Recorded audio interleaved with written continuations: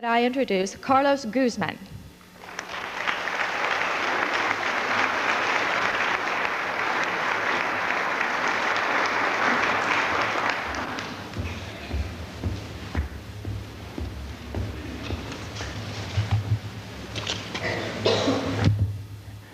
Good morning, everyone. Um, within the international ufology community, there are few cases from Mexico. That is the reason it is a privilege for me to speak today about Mexican ufology.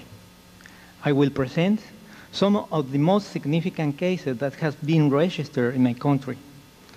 At the same time, I would like to thank Mr. Walter Andrus for having me invite me to such a prestigious symposium. Could you please uh, down the light? In Mexico, there has been a great number of unique cases in the world. Unfortunately, due to the reduced number of serious Mexican researchers on the theme of the UFOs and the lack of diffusion that these cases have, have they are rarely known. Mexico has always been a country with many attractive tourist spots for people from all over the world, especially for Americans, since it's so close to the United States. Mexico is a vast country with almost 2 million square miles. As far as land is concerned, it's one of the three largest countries in Latin America. At present, there are 93.7 million inhabitants 66% live in urban areas and 34% live in the rural. Its north border is with the United States, to the east with the Gulf of Mexico, to the west with the Pacific Ocean, and to the southeast with Guatemala, Belize, and the Caribbean. Mexico is a country with a lot of history, culture, and folklore. It is a country where the magic and mystery come from its origin as a nation. There have been more archaeological discoveries in Mexico than anywhere else in America, much on the same scale of magnitude as Egypt. The development of my ancestors and the knowledge of the universe was much more developed than the Europeans in the 14th century. As an example, the perfect astronomical orientation of the pyramids are precise where the equinoctial days, March 21 and September 22, are subject to the ascent from up above of the Maya god Kukulkan at sunset, between 5 p.m. and 5.30 p.m. The shadows made by the northwest corner of the platform were successfully cast along the edge of the northern stairways, forming seven isosceles tri triangles from the top downward until the plate of light and shadow created what appeared to be the body of an enormous serpent descending the pyramid. The last shadowy undulation stopped at the neck of the huge stone reptile head that rests on the ground at the base of the stairs. This light show can be appreciated at the pyramid of Kukulkan in the archaeological site of Chichen Itza in the state of Yucatan, just west of Cancun. The Mayas used geometry to build their pyramids and ceremonial centers, mostly enigmatic and undeciphered. The Aztec calendar of the Sun Stone defines with sheer precision days, month, solstices, equinox, etc. This masterpiece represents an astronomical calendar where the knowledge of the Aztecs concentrated the greatness of its people. Anyway, this will take a long time to present the vastness of the Aztecs, Mayas, Olmecas, archaeoastronomy, and other culture that lived in Mexico during its origin. So in order to continue, I shall present a brief chronology of the most important event that has taken place concerning UFOs and Fortean's events in my country. The majority of the information that I am about to present is unpublished. Early UFO report. Within ufology, many authors refer to, such as the case of Jacques Vallée in his book in Passport to Magonia, that there is a breach between two unexplainable set of manifestations, the one that come out from tradition, myth, stories, and folklore, and the most recent cases of the UFO phenomena. The current events are continuous through the history of mankind. I shall mention a few curious events that were taken from some old texts of historians, tales, writers, and journalists from old Mexico as events that caught my attention and were registered with the vocabulary used then such as light, firebolt, comet, giant star, moon, bright crosses.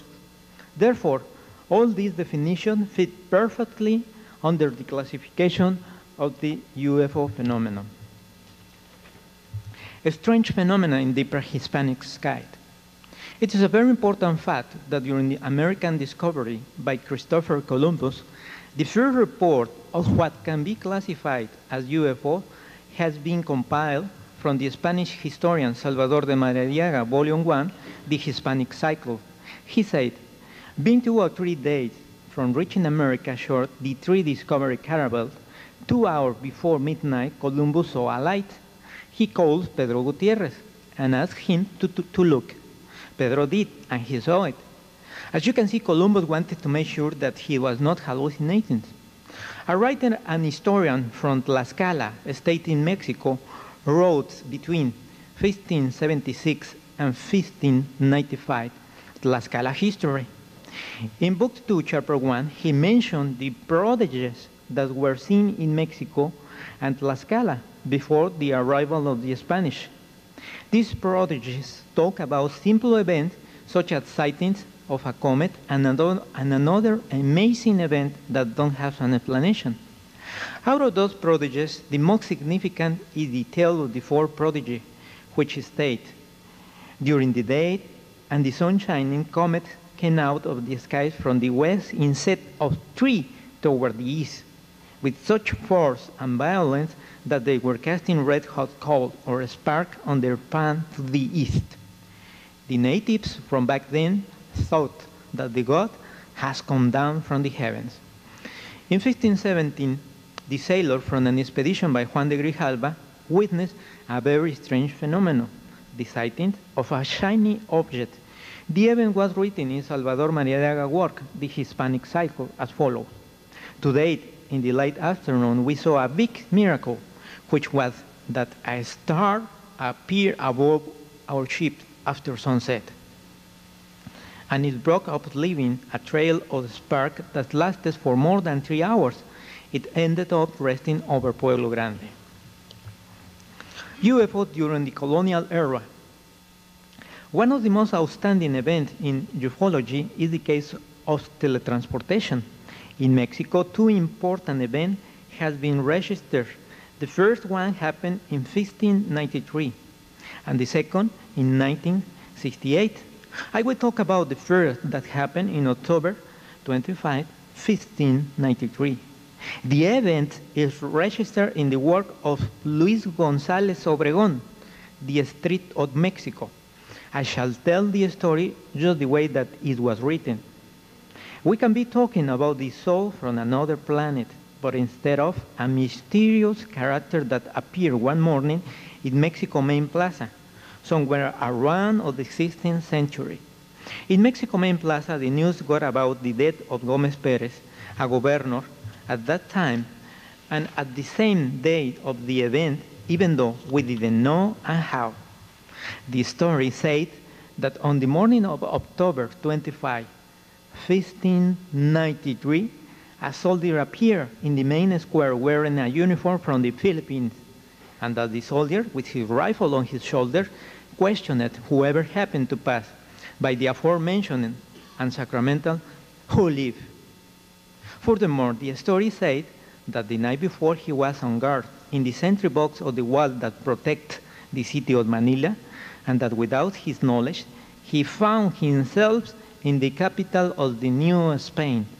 The event seemed so exceptional and wonderful that the court of the Inquisition took care of the matter, and after serious investigation and the process, condemned the soldier that marvelously appeared back to Manila, but slowly and on the way to Acapulco, without the intervention of Lucifer's spirit, who was blamed for the miracle of the first journey, so sudden and unexpected. The Philippine soldier was aware of the governor's death. Many months later, the soldier still remains prisoner until a galleon from the Philippines brought news that the very same day that the soldier appeared in Mexico City, the governor from the Philippines has passed away. August 14, 1610, the image of Our Lady from Asunción, made of solid gold that can be honored in the cathedral in Mexico City, made its debut on the eve of the celebration of the Holiness. On its premiere, there was a resplendent palm in the, in the shape of half a moon at its feet up in the sky, what brought about a legal investigation under the command of Archbishop Garcia Guerra. In the 19th century, the strange phenomena continues. On October 2nd, 1847, the morning sun covered by a black cloud that covered its shine, leaving the town surrounded in wandering shadow that gave it an aspect of sadness. Three hours before the sun reached high noon, all of Ocotlans in Guadalajara inhabitants felt the earth tremor caused by a strong vibrating earthquake that lasted for five minutes. The old parochial temple, a strong and solid construction, crumbled loudly, burying some people praying at that time. The previous transcription is recorded in Ocotlan Prodigy Book, Testimonies gathered and published in 1945 by the Reverend Margarita Ortega. More than 60 people died during, during the earthquake, and most of the town was destroyed. October 3rd, 1847. The following day, in the same town, a miracle happened. Ocular witnesses testimonied of what happened a horrible revolution of clouds in the horizon. And at the northeast of the town, two light clouds remains breaking up slowly. In the center of the cloud, a great blue cross appears, and the perfect image of the God knelt down on it. Ocotlan Mayor Antonio Jimenez statement right to the state of Jalisco authorities Today, in the afternoon, Excellency, 24 hours after the unfortunate event, talking about the earthquake that destroyed the town, the perfect image of God, our Lord crucified, made up by a cloud like shiny comet, had been sighted in the northwest. The event lasted half an hour, time in which more than 1,500 people knelt down in the plaza. There are dozens of testimonies that were certified in front of the ecclesiastical authorities from back then, having to do with this happening, even though some people only saw a white cross in the sky. The disappearance of the cross took place when a cloud started to cover it, until it disappeared covered by the cloud. Here we find again some appearances that are linked to the religious public demonstration and that the celestial signs are mixed with the UFO causistic.